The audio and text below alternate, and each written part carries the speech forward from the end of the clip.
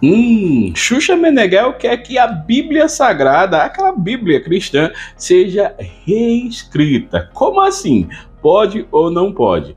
Xuxa está um pouco cansada de vários pastores, como Silas Malafaia, entre outros, atacarem gays, lésbicas, transexuais em seus cultos ou em seus vídeos aqui pela internet.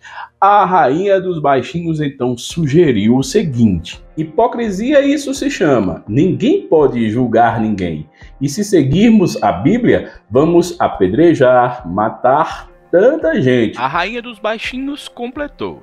Tá na hora de reescrever a Bíblia, Velho Testamento, Bíblia e a palavra final, cheia de amor e tirar todo ódio. E aí, você concorda com Xuxa? Tá na hora da Bíblia Sagrada Cristã ser reescrita? Passaram dois mil anos. Será que tá tudo certinho? Ou você concorda com a Xuxa? Sim ou não? Curte, comenta, manda sua mensagem, fala o que você quiser. O espaço é todo seu.